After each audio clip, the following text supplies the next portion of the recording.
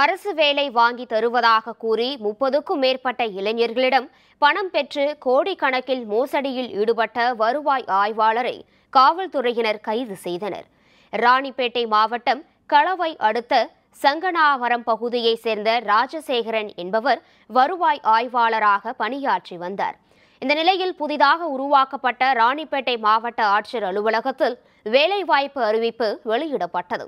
இதனை பயன்படுத்தி கொண்ட ராஜசேகரன் மற்றும் அவரது கூட்டாளிகளான குணசேகரன் டெல்லி ராஜ் ஆகியோர் முப்பதுக்கும் அதிகமான இளைஞர்களிடம் அரசு வேலை வாங்கி தருவதாக கூறி ஐந்து லட்சம் முதல் எட்டு லட்சம் ரூபாய் வரை பணம் வாங்கி கொண்டு மோசடியில் ஈடுபட்டுள்ளனர்.